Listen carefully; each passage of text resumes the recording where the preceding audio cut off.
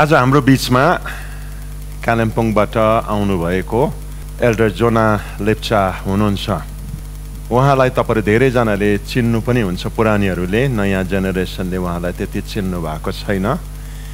मेरो पहिलो भेटघाट चाहिँ उहाँसित नाइन्टिन एट्टी सिक्समा एउटा मिटिङमा भएको थियो। यद्यपि म त्यति बेला यङ थिएँ अनि उहाँलाई मैले त्यो मिटिङमा सेवाकाई गर्न आएको देखेको अनि उहाँसितको मेरो पहिलो परिचय नै उहाँले गर्दै गरेको अगमबानीद्वारा भएको थियो। उहाँतर्फ म किन आकर्षित भएँ भनेदेखि परमेश्वरले जुन तरिकाले यो अगमबानीको इलाकामा उहाँलाई चलाइराख्नु भएको थियो त्यो मेरो लागि साह्रै रोचक साह्रै एउटा इन्ट्रेस्टिङ विषय भएर गएको थियो। त एल्डो भाउ आज हामी तपाईँहरूलाई यो इन्टरभ्यूमा स्वागत गर्दैछौँ। हाम्रो लागि टाइम निकालिदिनु भयो धन्यवाद। र मेरो साथमा मेरो श्रीमती पनि हुनुहुन्छ लक्की र उसले पनि म्यानमा केही विचार आयो भने तपाईँहरूलाई छ तपाईँलाई मैले सबैभन्दा पहिलो पटक चाहिँ नाइन्टिन एट्टी सिक्समा देखेको। त्यो पनि बमबस्तीको एउटा सेवकाईमा। तपाईँ आउनुभएको थियो। तपाईँले त्यो साँझ अगमबानी गर्नुभयो।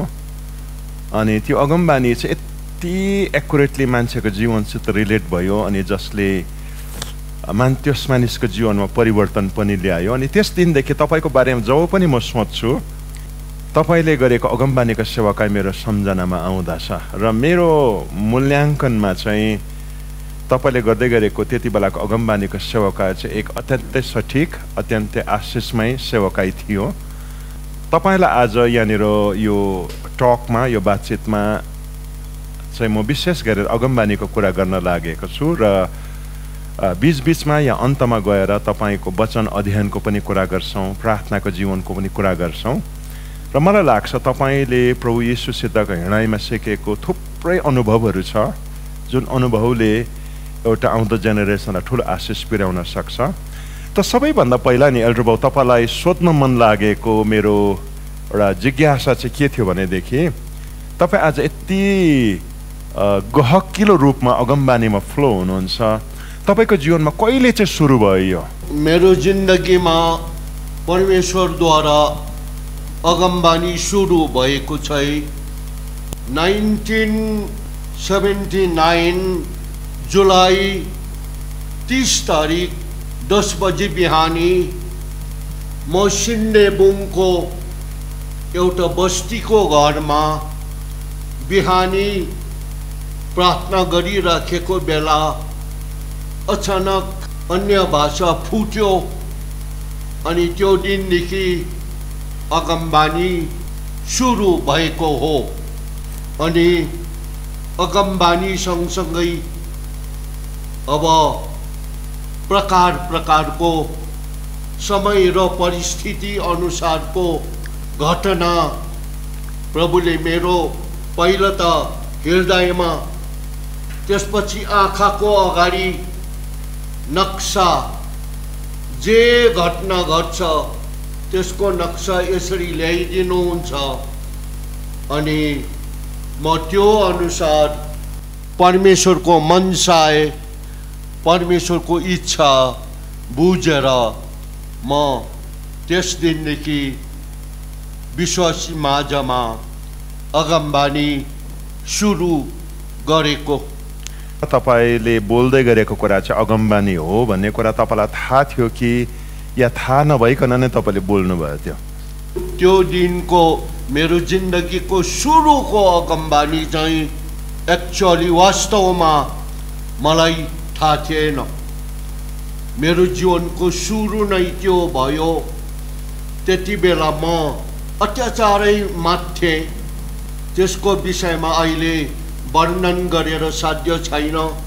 तर त्यति बेला त्यो बिहानी मैले परमेश्वरको भरपुरीको अनुभव सँगसँगै अन्य भाषा फुटी निस्क्यो अनि अगमबानी आयो। सँगसँगै सानोतिनो सरसल्लाह पहिलो चाहिँ मलाई नै आयो। जाँड नखा। मद्यपान छोडिदे। मलाई परमेश्वरले भन्नुभयो अनि त्यो दिनदेखि आज दुई हजार तेइस आज अगस्त तेह्र तारिकको यो समयसम्म मेरो मुखमा मद्यपान परेको छैन जबमा चौवालिस वर्ष भएछ। र यसरी मेरो जिन्दगीमा अगमबानी भनौँ सबै गिफ्ट्सहरू एकैचोटि सुरु भएको हो। यो अगमबानी नै हो। भनेर मलाई थाहा थिएन किनभने मेरो क्रिस्चियन जीवनको सुरुमा परेको कारणले अगमबानी कस्तो हुन्छ भविष्यवाणी भनेको के हो अन्य भाषा कस्तो हुन्छ त्यो मलाई थाहा थिएन एकैचोटि त्यो बिहानी मेरो जीवनमा यसरी अकस्मात यो गिफ्ट्सहरू सुरु भयो अनि त्यो दिनदेखि कतिवटा लडन्त आए यो गिफ्ट्सको विषयमा तर मैले प्रभुको अनुग्रहमा तपाईँको प्रार्थनामा थामेर ल्याएको छु तपाईँले हिजो वचन प्रचार गर्दै गर्दा भन्नुभयो नाइन्टिन सिक्सटी सिक्समा तपाईँले ब्लाइन्ड स्कुलमा छँदाखेरि प्रभु यीशुलाई विश्वास गर्नुभयो भन्ने कुरा अनि त्यसपछि तपाईँ चर्च जान सुरु गर्नुभयो जुन चर्चमा पनि तपाईँले बत्तिसमा लिनुभयो सङ्गतिमा हुर्किनुभयो त्यहाँनिर अगमबानीको बारेमा प्रोत्साहन या टिचिङ थियो कि या चाहिँ त्यहाँनिर केही पनि थिएन यो बारेमा? मैले मेरो क्रिस्चियन जीवन उन्नाइस सौ छसठ साल मार्च नौ तारिकदेखि सुरु भएको हो। यीशुको विषयमा सुन्ने बुझ्ने पढ्ने सन्डे स्कुलमा जस्तो त्यसरी म हुर्किँदै हुर्किँदै बढ्दै गएको हो अनि मलाई कसैले टिचिङ दिएन अगमबानी भविष्यवाणी दान वरदानको विषयमा डाइरेक्ट कुनै सर गुरुआमाबाट मैले टिचिङ पाएन टिचिङ पाएँ भनौँ कि जे भनौँ मेरो अगमबानी मेरो वचनको प्रकाश गराई त्यो दिनदेखि सुरु भएको हो। अनि त्यस दिन नि तपाईँले अगमबानी गर्नुभयो। तपाईँलाई टिचिङ थिएन जो जुन चर्चमा हुर्किनु भयो त्यति बेलाको चर्चहरूमा प्राय प्रायमा कतै पनि अगमबानीको गहकिलो टिचिङ थिएन। तर त्यस्तो बिचमा पनि तपाईँले अगमबानी गर्नुभयो। अनि तपाईँलाई थाहा पनि भयो यो चाहिँ प्रभुले मलाई अगमबानी दिनुहुँदैछ भन्ने।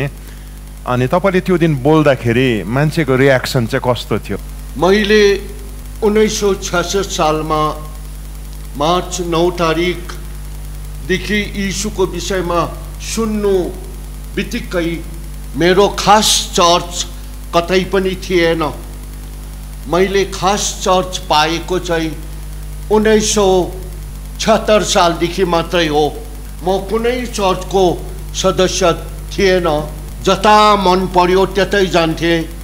सन्डे आएपछि कुन चर्च जाउँ लाग्थ्यो। कहिले फुल गसपाल जान्थे सिएनआई जान्थे। जता पाए त्यतै दगुर्थे। मेरो खास चर्च चाहिँ नाइन्टिन सेभेन्टी सिक्सदेखि एसएफसी कालिम्पोङ मेरो चर्च भयो। बस्तीको चर्च त्यति बेला साँच्ची नै हो। त्यति साह्रो अगमबानी यो गिफ्टको विषय यो दान वरदानको विषय मण्डली धेरैले मान्दैन थियो। मैले सुरु सुरुमा मण्डलीबाट प्रतिक्रिया जतिजनासँग मेरो सङ्गति भयो उनीहरूबाट राम्रो प्रतिक्रिया पाएन। मेरो विश्वासी सङ्गी थिए तर पनि। म एक्लो हुन्थेँ किनभने गुरुजनहरूले रोकेको थियो। योसँग नबोल्नु। यसले भनेको नसुन्नु। यसको भनाइ झुटो हो र म जुन चर्चमा नाइन्टिन सेभेन्टी सिक्समा गएँ त्यहाँ पनि मेरो सुरु सुरुमा ठुलो सङ्घर्ष भयो। मैले धन्न मैले सम्झेँ एचएफसी कालिम्पोङमा मलाई प्रभुले रोप्नु भएको हो।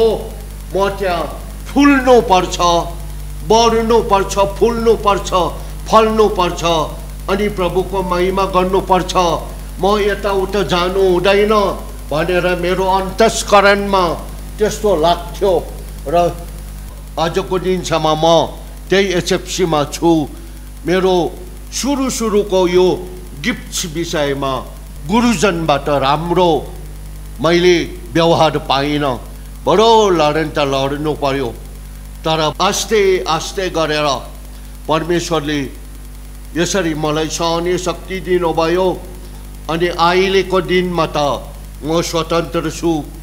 प्राय धेरै मण्डलीले मलाई चिन्छ स्वागत गर्छ अनि आज तपाईँको पासमा पनि छु। धन्यवाद। मजाको कुरा एकदमै इन्ट्रेस्टिङ अनि यो दिनहरूमा अनि यो दिनमा मात्र होइन निकै अगाडिको वर्षहरूमा पनि हामीले हाम्रो चर्चमा भाइ बहिनीहरूलाई पवित्र आत्मासितको घनिष्ठता सिकाउँदैछौँ। पवित्र आत्माको वरदानहरूले कसरी काम गर्छ ती कुराहरू सिकाउँदैछौँ। आत्माका आवाज कसरी चिन्नु भन्ने कुरा हामीले वर्षौँदेखि सिकाउँदै ल्याउँदैछौँ। यसर्थ अब म तपाईँलाई जे सोध्न लागेको छु तपाईँको उत्तरले मलाई लाग्छ धेरै भाइ बहिनीहरूलाई एन्करेज गर्नु सक्छ। अनि तपाईँलाई अब सोध्नु मन लागेको एउटा प्रश्न चाहिँ के थियो भनेदेखि तपाईँको भित्र अगमबानी आएको कसरी चाहिँ चाल पाउनुहुन्छ? कसरी चाहिँ तपाईँले छुट्याउनुहुन्छ? यो पवित्र आत्मा बोल्नु हुँदैछ या मेरो यो आफ्नो विचार पो हो कि? किनकि धेरै जसो अगमबानी गर्ने मान्छेहरूले हाम्रो कलिला भाइ बहिनीले यो एरियामा सङ्घर्ष गर्छ। तर तपाईँले चाहिँ कसरी चाहिँ छुट्याउनुहुन्छ कि यो प्रभु बोलेको? किनकि तपाईँले दिएको अगमबानीहरूमा मैले यति गहिरो सठिकता देखेँ। कसरी चाल पाउनुहुन्छ तपाईँले त्यो? मैले अघि भन्ने चेष्टा गरेँ कि उन्नाइस सौ उनासी साल जुलाई तिस तारिक दस बजे बिहान मेरो जिन्दगीमा अचानक कतै शिक्षा नलिकन बस्तीको एउटा कुनामा प्रार्थना गर्दै गर्दा भाषाको खोलो बग्यो। सुरु त्यति बेलै भयो।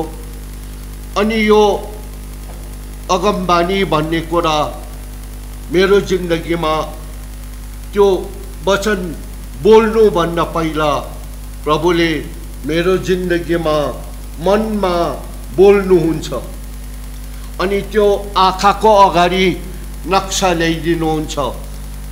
त्यो दिनमा सुरु भएको आजको दिन मेरोमा यसरी आउँछ अनि त्यो अनुसार म मण्डलीमा परमेश्वरले अगुवाई गर्नुभए अनुसार म अगमबानीको रूपमा राख्छु अन्त त्यो अनुसार म भन्छु तर त्यसको प्रतिक्रिया चाहिँ म पर्खिँदिनँ र अहिलेसम्म त्यसरी आएको छु अनि यसले कहाँसम्म प्रभाव पारेको छ त्यो पनि म जान्दिनँ।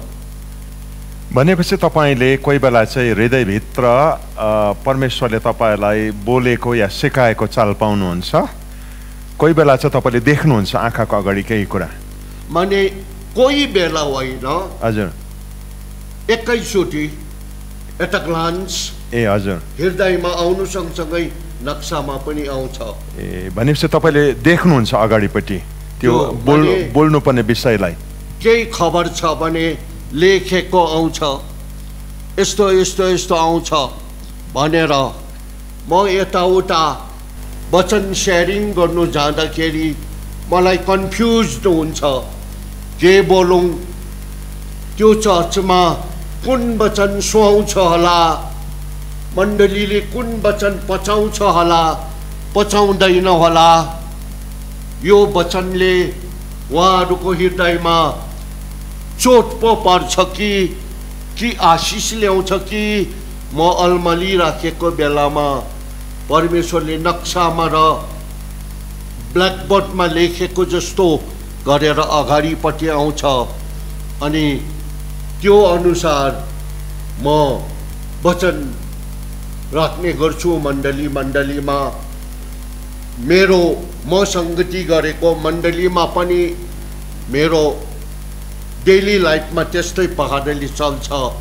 किनभने मे म बसेको मण्डली म बसेको सेवा गर्ने ठाउँमा सबैजना बस्तीवाल छ र अलिकति माथि टप लेभलको वचन त्यति उहाँहरूलाई सुट हुँदैन र मैले सोचेर सम्झेर दिनु पर्दाखेरि त्यो अनुसार दिन्छु अनि अहिलेसम्म चलिआएको छ।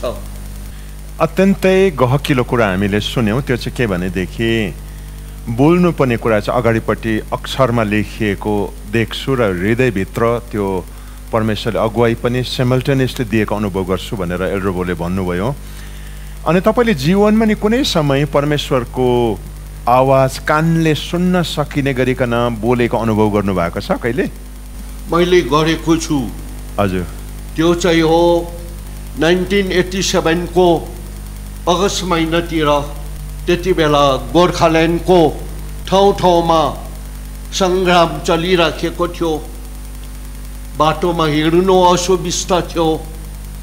म बजारको तल नौ माइलको तल खोचमा राति साढे नौमा बसिराखेको थिएँ राति ओछ्यानमा पस्नु आँटेको थिएँ त्यति बेला अचानक परमेश्वरले कानमा डेलोमा जा भन्नुभयो। अनि रातिको कुरा निष्पट अँध्यारो फेरि सिआरपीको छप छप बजारमा अनि त्यस्तोमा डेलोमा जा भन्नुभयो।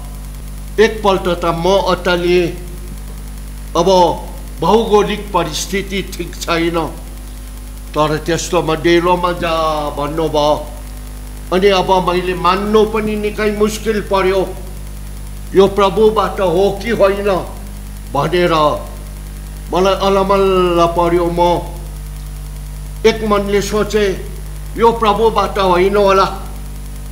यो कुनै अन्धकारको शक्ति होला।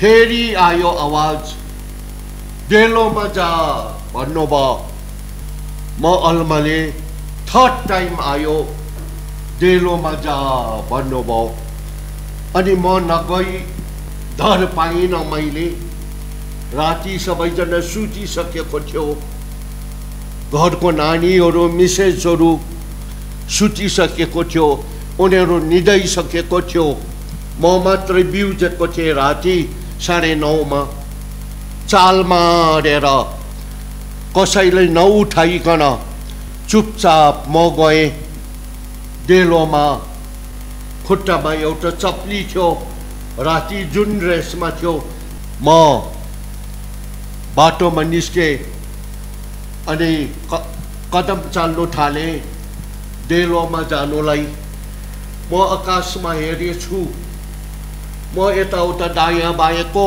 सबै कुरो बिर्सेछु आकाशमा हेरेछु अनि अन्य भाषा फुट्यो अन्य भाषा फुटेर आकाशमा बिचमा जुन लागेको वरिपरि ताराहरू चम्केको आकाश उज्यालो छङ्गै थियो म यसरी हेर्दै अन्य भाषा बोल्दै जाँदै थिएँ त्यति बेला स्वर्गमा यीशु प्रभु भन्नु हुँदो रहेछ।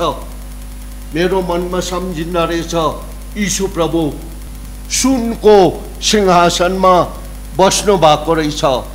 अनि चारैतिर यसो हेर्नु हुँदो रहेछ। मैले अनुभव गरेको त्यो चाहिँ।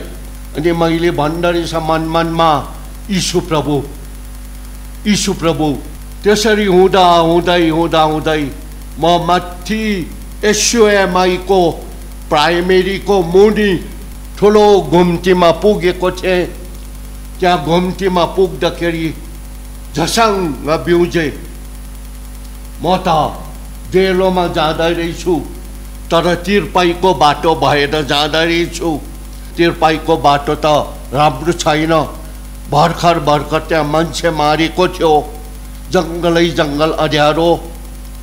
म एक एकछिन अलमल्ल परेँ अनि त्यहाँबाट मलाई एउटा शक्तिले उचालेर एकैचोटि माथि डेलोको बाटोमा उभ्याइदिनु भयो।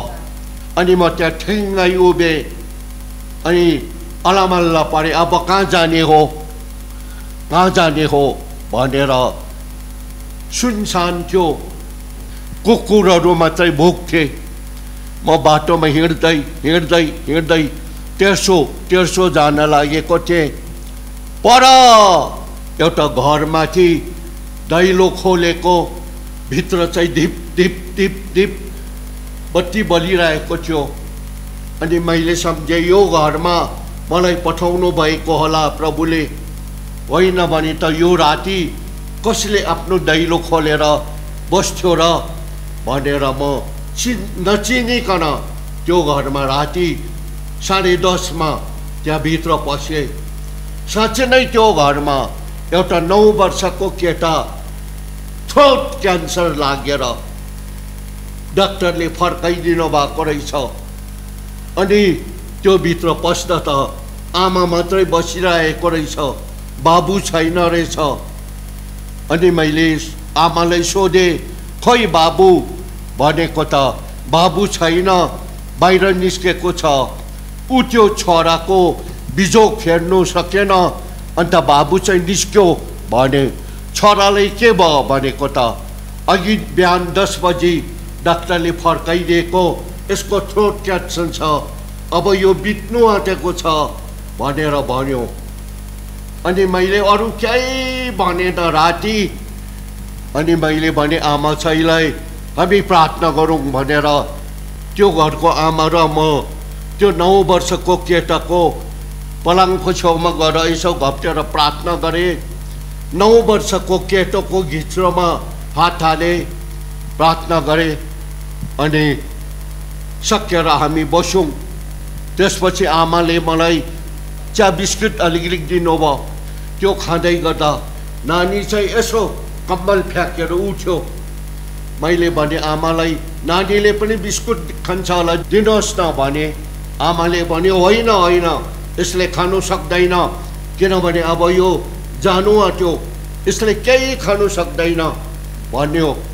तर मानेन मेरो मन गएर मैले हातमा एउटा बिस्कुट दिएँ। त्यो नानीले समात्यो अन्त यसो सुतेर खानु थाल्यो। वाह mhm. खानु थाले त्यसपछि एकछिन नानी कम्बल फ्याँकेर कुद्दै आएर आमाको साडी समातेर लुङ्गी समातेर झुन्ड्यो। अनि मलाई कुनै प्रकारको उत्तेजना आएन। रातिको समय थियो आन्दोलनको डर थियो। अनि म राति साढे दस बजी दस माइलको बाटो भएर फर्केर मेरो घरमा पुगेँ। त्यस्तो धेरै छ। प्रभुले नक्सा बाटो दिनुहुन्छ मनमा दिनुहुन्छ अनि डाइरेक्ट पनि बोल्नुहुन्छ। यसरी म परमेश्वरले भन्नुभएको कुरा सक्दो मान्ने गर्छु। तपाईँको जीवनको यो अनुभवहरू यति साह्रो मूल्यवान छ। म सुन्दै गर्दाखेरि आफैलाई उत्साहित भएको म अनुभव गर्दैछु। नाइन्टिन एट्टी सेभेनको कुरा हो। कालेबुङको एउटा गाउँमा साँझको सेवा हुँदै थियो। अनि म पनि त्यहाँनिर थिएँ तपाईँ त्यहाँ वक्ता भएर आउनु भएको थियो। अनि त्यस सेवामा एकजना मान्छे थियो जो चाहिँ गोर्खाल्यान्ड आन्दोलनमा अलिकति संलग्न थिए। अनि त्यति बेलाको समयमा धेरैजसो मान्छेहरूको हातमा गैर कानुनी हतियार हुन्थ्यो। कसैलाई पनि थाहा थिएन उसले उसको पकेटमा चाहिँ एउटा गैर कानुनी हतियार बोकेर आएको छ। उसले कसैको त्यो हतियार चाहिँ मागेर ल्याएर बोकी हिँड्दै थियो। तर त्यो मिटिङमा बसेको बेलामा तपाईँले अगमबानी गर्नुभयो। अनि तपाईँले अगमबानी गर्दा भन्नुभएको थियो लुका बिसको पच्चिस देखा परेको छ। सिजरको चिज सिजरलाई देऊ परमेश्वरको चिज परमेश्वरलाई देऊ। तिम्रो वरिपरि छिमेकीहरू मात्र छ शत्रु होइन सुन्नेले बुझोस् भनेर तपाईँले भन्नुभयो। कसैले पनि चाल पाएन यो तपाईँले के चाहिँ भनेको हो भन्ने। तर जुन मानिसले आफ्नो पकेटमा त्यो गैर कानुनी हतियार बोकेर आएको थियो ऊ काम नलाग्यो त्यति बेला उसले स्पष्ट चाल पायो परमेश्वर उसित बोल्दै हुनुहुन्छ। अनि त्यसले उसको जीवनमा केही हदसम्म बदलाउ पनि ल्यायो। यति साह्रो सठिक रूपमा तपाईँले त्यो अगमबानी गर्नुभयो। किनकि त्यो मान्छेले सेवा सक्ने साथ आएर मलाई भन्यो आज मेरो लागि अगमबानी भयो।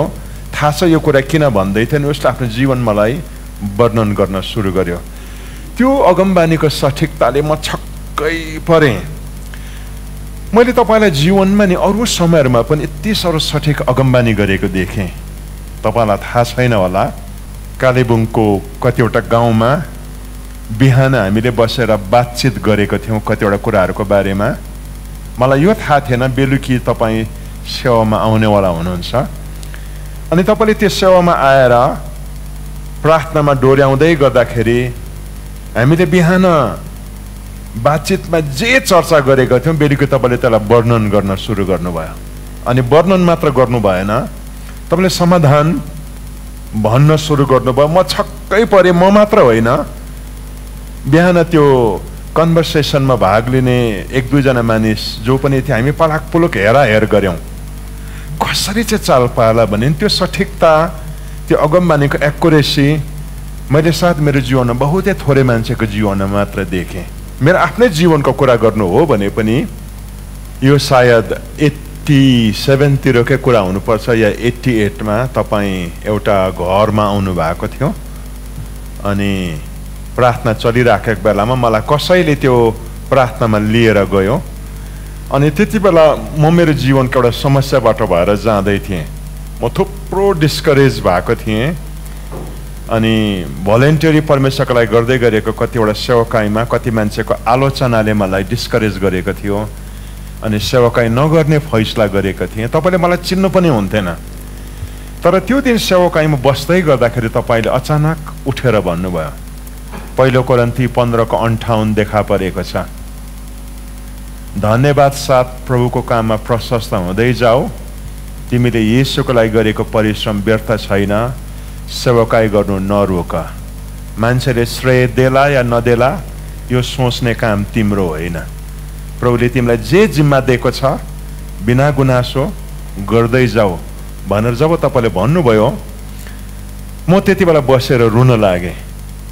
सेवकाईमा म डिस्करेजमेन्टको हालतमा पुगिसकेको मान्छेलाई तपाईँको त्यो एउटा अगमबानीले यस्तो खिचेर फेरि सेवकाईभित्र ल्यायो।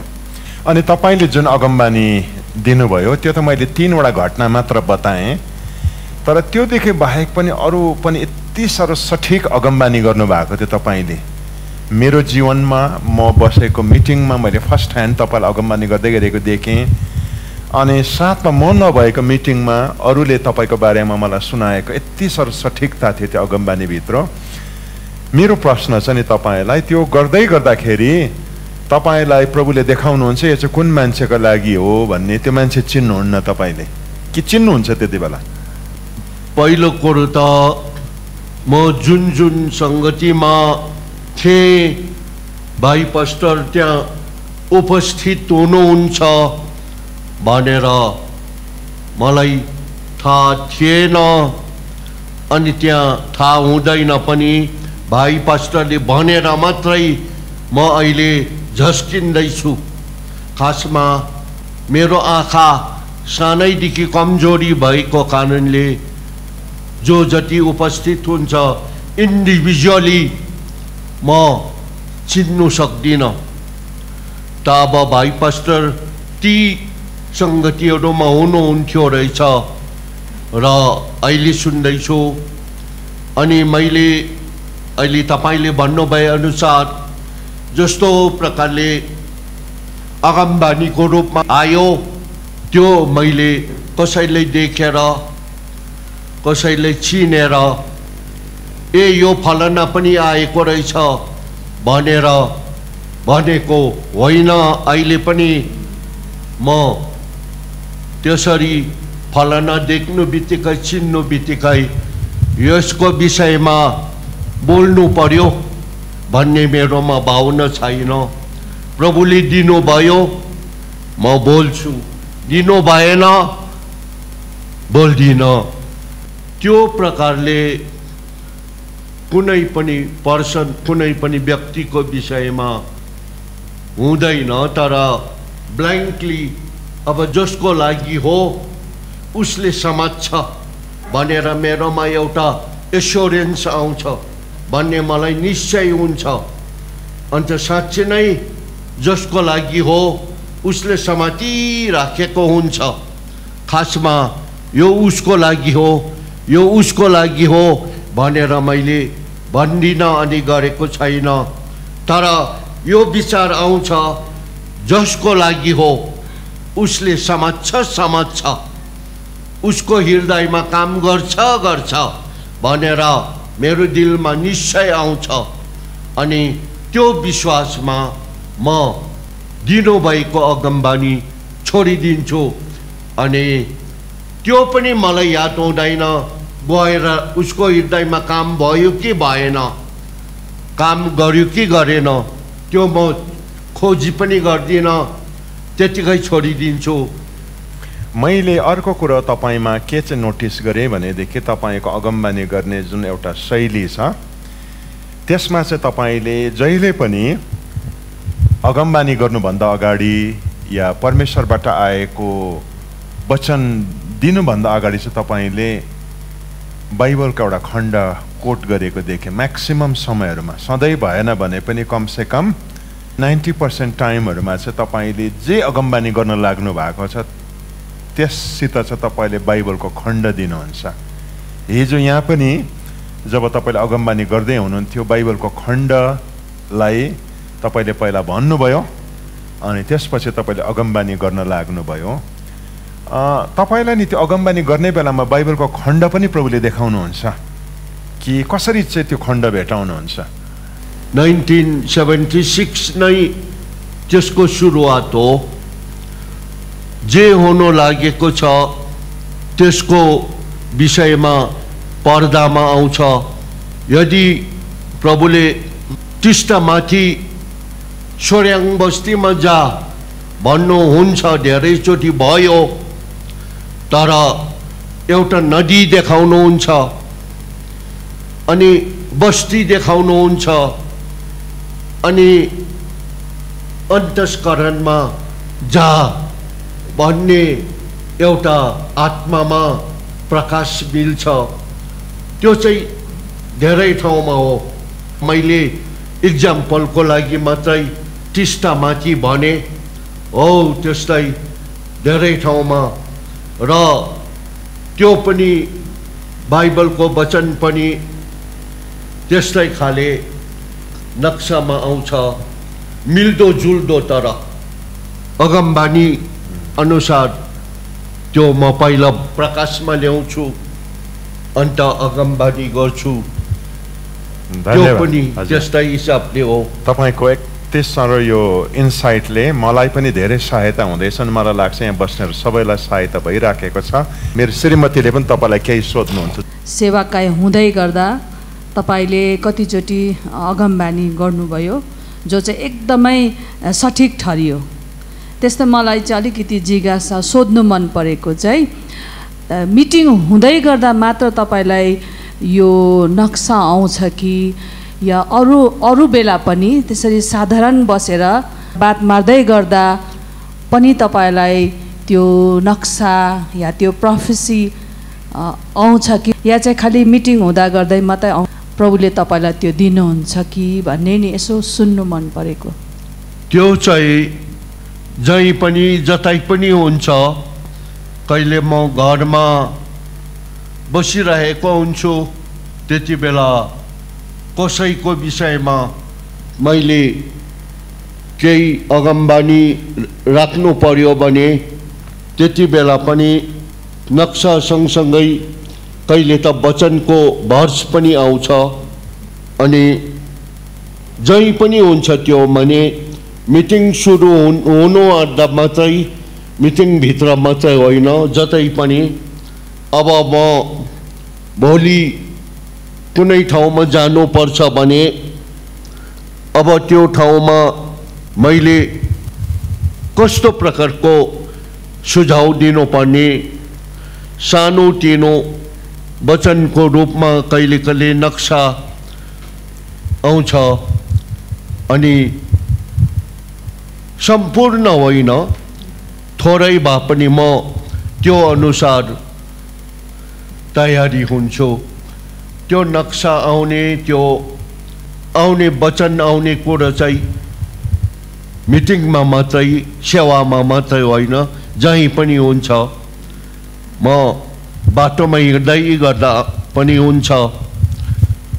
म बस्तीमा जाँदै गरेको हुन्छु अनि जाँदै गर्दा बाटोमा अचानक म पिपलको रुख मुनि बस्छु थकाइ मारेर। त्यहाँ पनि परमेश्वरले कुनै न कुनैको प्र आवश्यक प्रकाश नक्सा चाहियो भने नक्सा वचन चाहियो भने वचन दिनुहुन्छ। र म बाह्र माइल जाँदा आज होइन पहिला पहिला कति वर्ष अगाडि एउटा बुढो मान्छे बाटोमा बसिराखेको हुन्थ्यो। धेरैचोटि त मैले त्यो बाजेलाई नहेरिकन आउजाउ गरेँ। तर एक दिन बरको रुखमा यसरी बसिराखेको बेलामा जस्तो त्यो बरको रुख बुढो छ। त्यस्तै बाटोको बाटोको किनारमा बसेको बाजे बुढो बाजेलाई देखाउनु भयो। अनि उसलाई भेट्नु भन्नुभयो अनि म एक बिहानी सन्डे बिहानी जाँदै गर्दा त्यो बाजे त्यहाँ बाटोमा बसिरहेको रहेछ। अनि म चिनेको त थिइनँ तर पनि त्यो बाजेको साथमा गएर बसेर बात मारेँ। अनि त्यो बाजेले पनि मलाई प्रश्न गर्नुभयो तपाईँलाई म हर समय यता जाँदै गरेको देख्छु। कहाँ जानुहुन्छ? भन्नुभयो। अनि हाम्रो कुरा यसरी निस्क्यो। अनि मैले यहुन्ना पन्ध्र अध्यायको त्यो दागको बोटको कुरा निकालेर उहाँको जीवन निकालेर पल्लोपट्टिको बुढो बरको रुखलाई देखाएर उहाँलाई कुरा गरेँ कि तपाईँले मैले जस्तो यीशु प्रभुलाई ग्रहण गर्नुपर्छ तपाईँले सुन्नु त सुन्नु भएको हो तर अहिलेसम्म तपाईँले ग्रहण गर्नु भएन भन्ने कुरा मैले उहाँलाई जनाएको थिएँ। हो त्यस्तो कहिले कहिले बुढो रुखको फेदमा म बस्छु बुढोको नक्सा दिन्छ। ओ त्यस्तो अब त्यो खालि मिटिङ हुँदै गर्दा मात्र होइन जहीँ पनि हुन्छ त्यो चाहिँ। अच्छा एउटा प्रश्न नि एल्डर बाउ जब तपाईँले अगमबानी पाउनुहुन्छ तपाईँले यसो देख्दाखेरि अनि तपाईँले त्यो अगमबानीलाई कोही बेला हेजिटेसन हुन्छ भनौँ कि नभनौँ मैले ठिकै देख्दैछु कि या यो मेरो कल्पना मात्र हो त्यस्तो कोही बेला सङ्घर्ष हुन्छ तपाईँलाई कि तपाईँको भित्र त्यो देख्ने साथ निश्चयता आइहाल्छ यो प्रभु बोलेको हो भन्ने। प्राय नाइन्टी फाइभ पर्सेन्ट मलाई निर्धक्क र ढुक्कै हुन्छ। तर फाइभ पर्सेन्ट बेला बेलामा मेरो हृदयमा हृदयमा बोल्छ नक्सामा हुँदैन। नक्सामा हुन्छ यहाँ बोल्दैन। त्यति बेला अलिकति गडबडी हुन्छ। मलाई अलिकति शङ्का लाग्छ। यो अगमबानी ठिक छ कि छैन? एक्युरेट हो कि होइन परिस्थिति अनुसार भनेर मलाई शङ्का लाग्छ। अब बोलिसकेको छ। अब मैले के गर्नु छ र तर प्रभु कहाँ राख्छु? अनि त्यसको पछि म लागि बस्दिनँ। ठिक भयो कि भएन राम्रो भयो कि भएन? कसैलाई बिगाऱ्यो कि कसैलाई मन दुखायो कि त्यो म खोजी गर्दिनँ त्यतिकै छोडिदिन्छु। नाइन्टी फाइभ पर्सेन्ट चाहिँ मलाई निर्धक्क र ढुक्कै हुन्छ। फाइभ पर्सेन्ट कहिले नक्सामा आउँदैन यहाँ मात्रै हुन्छ। यहाँ आउँछ यहाँ आउँदैन। हो त्यति बेला चाहिँ अलिकति हलमा लिन्छु।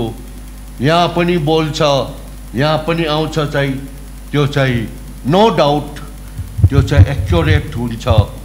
अहिलेसम्म भएर आएको छ। तपाईँको कुरा सुन्दै गर्दाखेरि भर्खरै हामीले चर्चमा अगमबानीको बारेमा टिचिङ गरेका थियौँ। त्यो मलाई याद आयो। अनि पुरानो करारमा अगमबानी र अगमवक्ताको बारेमा बुझाउँदाखेरि हिब्रू भाषामा दुईवटा शब्दहरू चाहिँ प्रयोग गरिएको छ।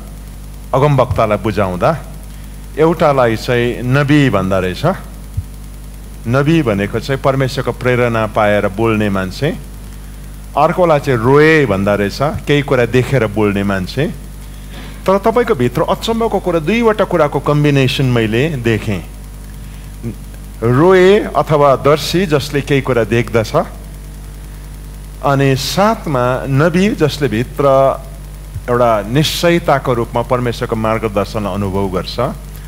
अनि दुईवटा चाहिँ तपाईँले एकसाथमा आएको बेलामा चाहिँ सठिकताको साथमा अगमबानी बोल्ने आँट पाएको कुरा सुन्दा म एकदमै उत्साहित भएँ। अनि कोही बेला चाहिँ दुइटामा एउटा आउँछ भन्ने मलाई लाग्यो। यो कुराले मलाई अनि सुन्ने हाम्रो यहाँ अडियन्सहरूलाई धेरै सहायता पुगिराखेको छ र हामी अलिकति समय अब अडियन्सहरूलाई पनि दिन लागेको छ। आज तपाईँहरूको मनमा यो कुरा सुन्दै गर्दाखेरि केही प्रश्न आयो भनेदेखि तपाईँले भन्नुहोस् न। अहिले पनि हाम्रो चर्चमा अगमबानीको कुरा नवटा वरदानको कुरा को टिचिङहरू भइराखेको छ। मलाई पनि यो अगमबानी कोही कोही बेला मलाई आउँछ अनि आउँदाखेरि चाहिँ के हुन्छ भनेदेखि यो मेरो माइन्डले पो बोल्दैछ कि बा परमेश्वरले दिएको वचन हो कि होइन भन्ने एउटा कन्फ्युजन जस्तो हुन्छ। तर त्यो कुरा कोही बेला रिपिट आएको आएकै आएको आएकै हुँदाखेरि चाहिँ म त्यो भन्छु। म एकैचोटि फर्स्टमा भनिहाल्दिनँ। अगमबानी बोल्ने चाहिँ उत्कट इच्छा राख भनेर पहिलो कोरिन्थी चौधमा लेखेको छ। तपाईँको अनुभवमा चाहिँ कोही पनि जब अगमबानीको वरदानभित्र पस्ने इच्छा गर्छ भनेदेखि हामीले के के गर्नु चाहिँ जरुरी छ? मेरो अनुभव अनुसार चाहिँ म अगम्बा अगमवक्ता हुन्छु। म नबी हुन्छु। म दर्शी हुन्छु भनेर विचार गरेको या त त्यसमा फोकस गरेर मैले अहिलेसम्म गरेको छुइनँ। मैले कुनै अध्ययन गरेको छुइनँ। प्रोफेसी गर्छु मेरो भविष्यमा भनेर मैले सोचेको छुइनँ। अनि यो जो छ यो चाहिँ अटोमेटिक भएको हो। मैले छानेर मेरो मण्डली मेरो सङ्गतिभित्र म अगमवक्ता हुनु पर्यो भन्ने इन्टेन्सनमा होइन यो चाहिँ मेरो चाहिँ अटोमेटिक हो। कसैले मलाई टिचिङ दिएन अनि मैले लिइनँ पनि टिचिङ अब यो मेरो आफ्नै एउटा बेग्लै अनुभव अनि यहाँ अघि पास्टर बाउले भन्नुभयो हुँदा अब यहाँ बस्नु भएछ सङ्गतिमा अगमबानी भएछ त्यसले काम गरेछ यहाँले भन्नुभयो ती दिनमा मैले अगमवक्ताको विषयमा अध्ययन पनि गरेको होइन मैले कसैबाट टिचिङ पाएको होइन अनि मैले तपाईँलाई भन्नुपर्दा मेरो अनुभवमा तपाईँको विचारमा परमेश्वरले दर्शनद्वारा या आत्मामा कसैलाई अगमबानीको सल्लाह दिने त्यस्तो अगुवाई दिनुहुन्छ भने त्यो चाहिँ शङ्का नगरिकन दिनु राम्रो। शङ्का गर्नु चाहिँ पाप हो भन्छ। अनि शङ्का नगरिकन दिनुहोस्। यति मात्रै भन्नुहोस् प्रभु। यो चाहिँ तपाईँको नाममा राख्दैछु। यसले भलाइ गर्छ को भलाइ गर्छ म जान्दिनँ। त तपाईँको नाममा राख्दैछु। तपाईँले कसैको निम्ति तोकेर अगमबानी गर्नुहुन्छ कि कि ब्ल्याङ्कली गरी पठाउँदा जसलाई पायो उसलाई लाग्छ कि? त्यो चाहिँ अब तपाईँको इच्छा हो तर शङ्का नगरिकन राख्नु चाहिँ राम्रो भनेर मलाई लाग्छ। तपाईँले शङ्का नगरी बस्नुहोस्। कहिले कहिले मलाई के लाग्छ भने शङ्का गर्नु र मनमा आएको अगमबानी या त भविष्यवाणी जे छ त्यो राख्नु सङ्कोच मान्नु अलिकति प्रभुसँग शङ्का गरेको हो कि जस्तो पनि मलाई फिल हुन्छ।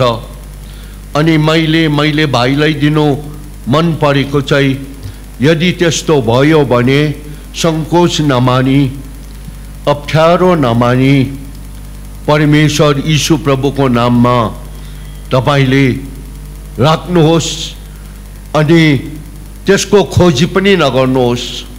त्यो प्रभुको हातमा राखिदिनुहोस् अनि काम गर्यो भने समयमा तपाईँले खबर पाउनुहुन्छ। काम गरेन भने त्यतिकै त्यति सुकेर जान्छ। अनि यहाँ अहिले पास्टर बाउले जो भन्नुहुँदैछ मलाई त थाहा थिएन। अनि त्यो मिटिङ्सहरूमा यहाँ पास्टर बाउ हुनुहुन्छ भनेर पनि मलाई थाहा थिएन। त्यति बेला यहाँसँग मेरो नियरनेस थिएन जहाँ तक नजिकता थिएन। अनि यहाँको उपस्थिति मैले थाहा गर्नु पनि सकेन। अनि अगमवक्त अगमबानीले काम गर्यो। भनेर मलाई त्यो पनि याद भएन। तर अब कति वर्षपछि यहाँ भेट्दाखेरि अब मैले चाल पाउँदैछु। यहाँको जिन्दगीमा काम भएछ। हो त्यस्तो नि। Without any hesitation without any doubt तपाईँले राख्नुहोस्। In the name of Jesus किनभने मान्छे त अटोमेटिकली कमजोरी हो नि। त्यो प्रभुलाई थाहा छ। तपाईँ म धर्मी सम्झेर आफूलाई करेक्सन नगर्नुहोस्। प्रभुको प्रभुले तपाईँको दिलमा जे दिनुहुन्छ यीशु नाममा राखिदिनुहोस्।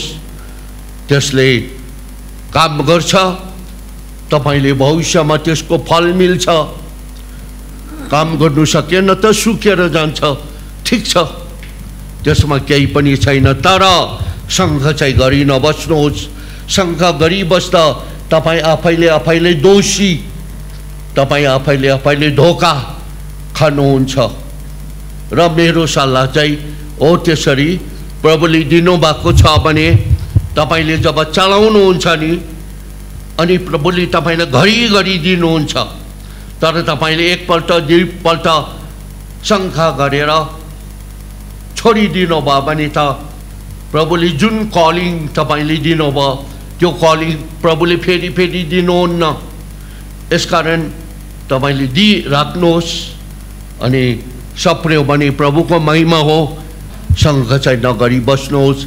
मेरो सल्लाह हो प्रभुले जो दिनुभयो त्यसलाई राख्नुहोस् अनि डराइ नबस्नुहोस्। किनभने हामी मान्छे कमजोरी हो नि त।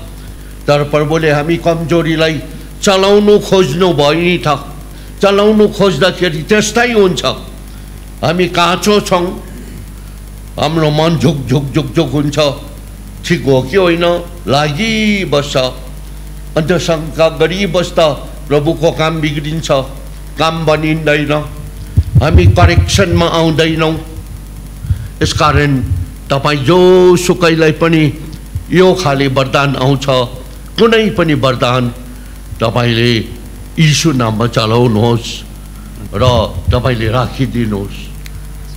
बिना सङ्कोच। मेरो प्रश्न चाहिँ हो प्रश्न भन्दा पनि मेरो इच्छा जस्तो तपाईँले जे देख्नुहुन्छ जे अनुभव गर्नुहुन्छ भन्नुहुन्छ। त्यसले गर्दा त्यो अगमबानी पुरा हुन्छ। तर अहिलेको जेनेरेसनमा चाहिँ प्राय बहुतै कम्ती सुनिन्छ यस्तो। त्यो चाहिँ किन भन्दाखेरि चाहिँ मैले अब्जर्भ गरेको चाहिँ मान्छेले भएन भने अघि तपाईँले भन्नुभयो शङ्का। भएन भने मेरो इज्जत हौ त्यो सायद त्यसले गर्दा होला त्यो अगमबानी चाहिँ हराउँदै गएको भन्ने। अन्त त्यो तपाईँबाट सुन्नु मन परेको कि यो के हो यस्तै भन्ने? यो प्रश्न चाहिँ के हो भनेदेखि अहिलेको समयमा अगमबानी हराइसक्यो प्राय प्राय एकदमै थोरै मात्र जिउँदो छ। कसै कसैले मात्र जिउँदो राखेको छ। यो हराएर गयो।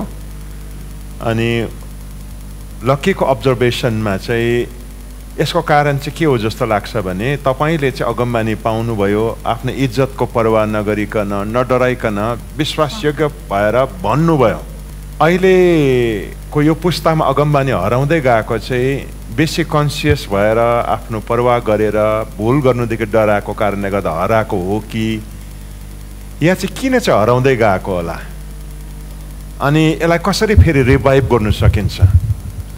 यो हराउँदै गरेको विषयमा म आफै सम्झनामा ल्याउँदा सम्झिँदा चाहिँ के लाग्छ भने अहिलेको जेनेरेसन अहिलेको मान्छे अन्य जातिदेखि स्वजाति अइसाईदेखि इसाई सबैजना चनाखो भयो सेन्सिटिभ भयो।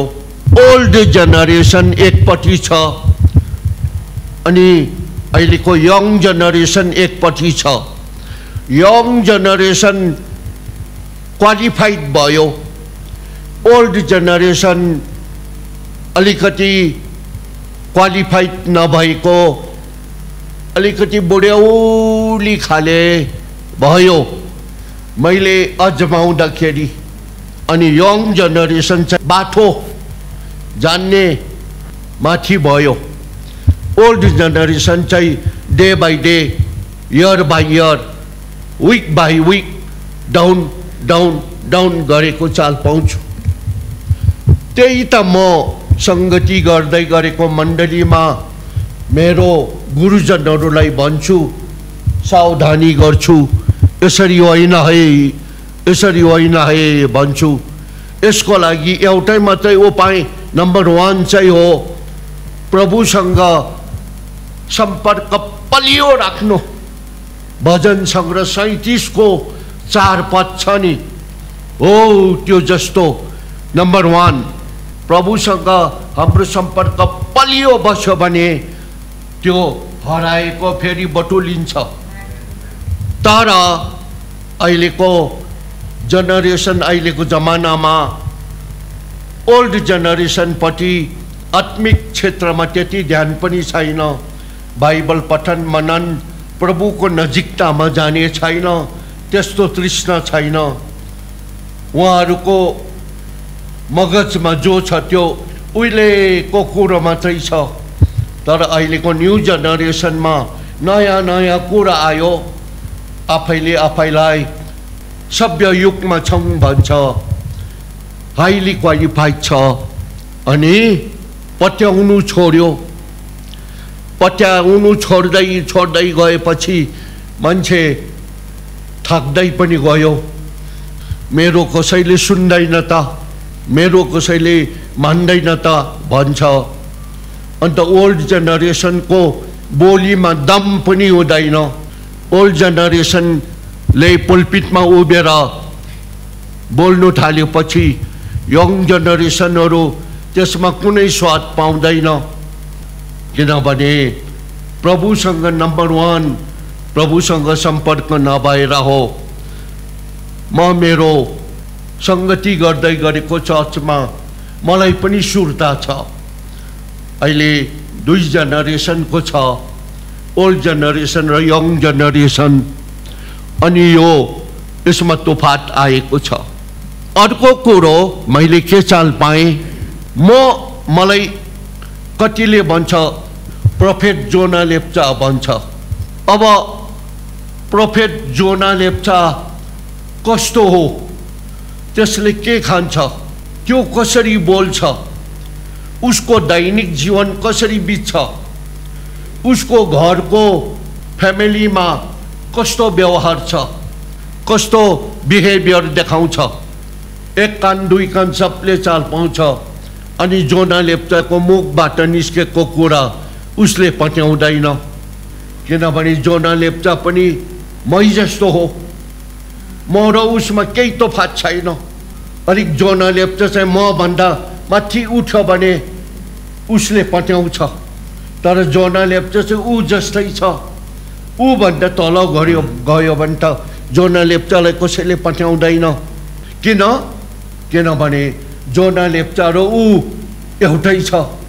केही फरक छैन। यसकारण प्रभुको छोराछोरी चाहिँ यदि प्रफेट हुनु हो भने प्रफेट जस्तै हुनुपर्छ ऊभन्दा बेग्लै ऊभन्दा बेग्लै तिमी अलिक बेग्लै हुनुपर्छ ऊभन्दा आत्मिक रूपमा तिमी माथि लेभलको हुनुपर्छ अन्त मात्रै उसले पठ्याउँछ उसले भनेको दर्शन उसले पट्याउनु पर्छ त्यति बेला मात्रै पट्याउँछ जब उसको दर्शन बोल्नेको आत्मिकी जीवन उच्च छ उनीहरू डराउँछ। जबसम्म एउटा अगमवक्ता र एउटा साधारण विश्वासी एउटै लेभलमा हुन्छ पट्याउँदैन मोसाले भन्नुभयो नि प्रस्थान तेत्तिस अध्यायमा हुनसक्छ। त्यहाँ भन्नुभयो नि परमप्रभुलाई तपाईँ परमप्रभु हामीसँग छ भने अन्य जातिको बिचमा हामी बेग्लै हुन्छौँ। हामी फरक हुन्छौँ। अन्य जातिभन्दा हामी बेग्लै हुन्छौँ भनेर मोसाले भन्नुभयो नि औ त्यस्तो प्रोफेट प्रोफेटको जीवनमा प्रभु हुनुपर्छ। दर्शन देख्नेको जीवनमा प्रभु हुनुपर्छ। अगमबानी छ आफ्नो ठाउँमा। अगम बानी हराएको छैन। अहिले तपाईँहरू जोसुकै पनि योग्यको प्रभुको नजरमा भएर गयो भने प्रभुले दिनुहुन्छ। अगमबानी आफ्नो ठाउँमा छँदैछ। अगमबानी हरायो हामी भन्छौँ अगमबानी हराउनु होइन अगमवक्ता हरायो। हरायो उनीहरू विग्रहल भयो उनीहरू योग्यको भएन।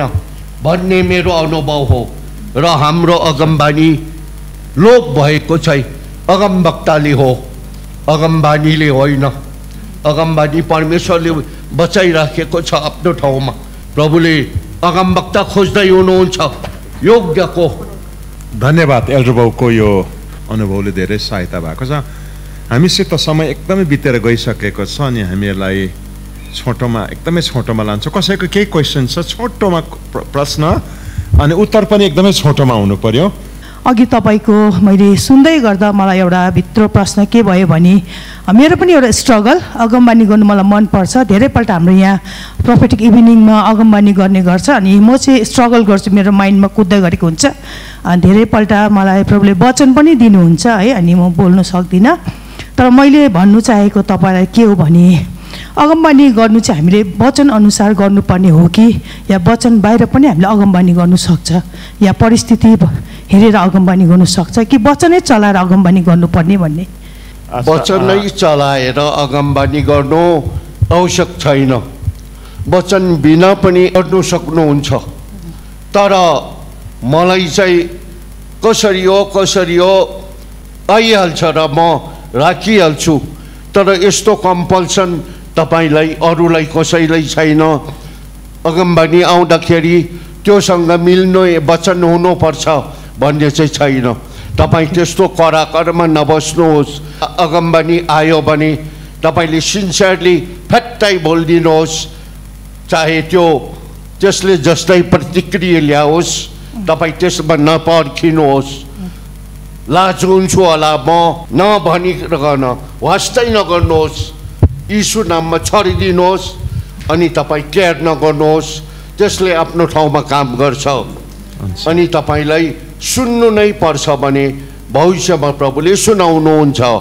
यो क्लोजिङतर्फ जाँदै गर्दाखेरि एल्ड्रोबाउलाई एउटा प्रश्न मेरो अन्तिम अनि त्यसपछि हामी अन्त गर्छौँ। तपाईँले धेरै प्रार्थना गर्नुहुन्छ। अस्ति कालेबुङमा तपाईँको घरमा आएर मेरो श्रीमती र मैले तपाईँसित बात मार्दै थियौँ। त्यति बेला तपाईँले भन्नुभयो मेरो लागि एउटा कुर्सी छ भने राखिदिनुहोस्। किनभने कोही बेला म राति बेडमा ढल्किँदिनँ तर कुर्सीमा बस्छु कोही बेला राति म प्रार्थना गर्छु। अनि मैले सोधेँ कति लामो समयसम्म प्रार्थना गर्छु? भन्दा यति उति छैन तर कोही बेला म दुई बजीसम्म पनि कुर्सीमा बसिराखेको हुन्छु प्रार्थना गरिराखेको हुन्छु भन्ने। अनि कति मान्छेलाई प्रार्थना गर्ने इच्छा हुन्छ तर लामो प्रार्थना गर्नु सक्दैन। तर तपाईँको जीवनलाई हेर्दाखेरि तपाईँले लामो प्रार्थना गर्नु चाहिँ एउटा अचम्मको अनुशासन कायम गर्नुभएको छ। कसरी चाहिँ यो लामो समयसम्म प्रार्थनामा नथाकी तपाईँ पस्नु सकेको? यसको किजहरू चाहिँ के छ होला? मैले तपाईँलाई भने म राति दुई बजीसम्म प्रार्थना गर्छु। अलिकति म बिसन्चो बिमारी भयो भने साढे एक बाह्र बजीसम्म गर्छु अनि प्रभुलाई क्षमा दिनुहोस् है भनेर म ढल्किन्छु। होइन भने प्राय म दुई बजीसम्म बसेको हुन्छु। त्यो चाहिँ कसरी भने म प्रार्थना गर् गर्दाखेरि दुई बजीसम्मै घुट्ना टेकेर प्रार्थना गरेको हुँदिनँ। म घुट्ना टेकेर प्रार्थना गर्छु। अनि अलिकति यो दुख्नु थाल्यो भने मेरो ध्यान त्यतै जान्छ। यसो गर्छु। फेरि प्रार्थना प्रार्थनामा ध्यान आउँदैन। फेरि यसो यसो गर्छु। त्यसरीको कारणले म एक घन्टा घुट्ना टेकेर प्रार्थना गर्छु। यो घुँडा दुख्नु थाल्यो भने म उठ्छु अनि उठेर घुमेर प्रार्थना गर्छु। अन्य भाषामा प्रभुसँग प्रार्थना गर्दै गरेको हुन्छु। अनि त्यति बेला कहिले गीत हुन्छ तर राति गीत म चर्को स्वरले गाउँदिनँ। मन मनमा बिस्तारी गीत गाउँछु। अनि हिँडेर प्रार्थना गर्छु। दस मिनट पन्ध्र मिनट जस्तो फेरि भुइँमा प्रार्थना गर्छु। हो त्यसरी गर्दै समय जान्छ। यस्तो नि एल्डर भयो। यसमा चाहिँ अब कतिले चाहेर पनि प्रार्थना गर्नु सक्दैन। उनीहरूलाई छिट्टै ध्यान कता कता डुल्नु थाल्छ अल्छी लाग्नु थाल्छ इच्छा त छ तर उनीहरूले सक्दैन किन चाहिँ यस्तो भएको होला के छ यसको समाधान मलाई लाग्छ यदि कुनै भाइ बहिनीले साँच्ची नै अन्तस्करणबाट प्रार्थना गर्ने बोझ आउँछ भने त अल्छी लाग्दैन भनेर मलाई लाग्छ तर उसको ध्यान उसको उसको कन्सर्न प्रभुसँग हुनु पर्यो एउटा यस्तो ध्यान हुनु पर्यो नि प्रार्थना गर्ने मान्छेको म यो विषय प्रार्थनामा राख्छु भनेर भन्नु पर्यो नि। विषय नै नभइकन घुट्न टेक्नु त के पनि छैन नि अन्त सक्दै सक्दैन नि। विषय हुनु पर्यो थुप्रो। मेरोमा थुप्रो विषय हुन्छ। धेरैचोटि त राखी पनि सक्दिनँ। यसकारण एकपछि अर्को प्रार्थना गर्दा यसको पछि अर्को राख्दा अर्को राख्दा त समय त त्यसै जाँदो रहेछ। र जसको अन्तस्करणमा साँच्ची नै प्रार्थना गर्ने इच्छा हुन्छ तिनीहरूको जीवनमा प्रार्थना पहिला आउँछ अल्छी आउँदैन नि। प्रार्थना गर्ने मान्छे हो भने तर प्रार्थना गर्ने इच्छा होइन भने त त्यो त अल्छी लाग्छ निन्द्रा लाग्छ किसिम किसिम हुन्छ। तर जसको बोझ छ उसको चाहिँ विषय थुप्रो हुन्छ। विषय राखेर पनि राखि सकिन् सकिँदैन भनेर मलाई लाग्छ। बोझ हुनु पर्यो भन्ने मलाई लाग्छ। गहकिलो कुराहरू भइराखेको छ तर हामीले यसलाई यहाँनिर रोक्नुपर्छ र आजलाई हामी यो बातचितलाई यहीँ अन्त गर्न लागेका छौँ र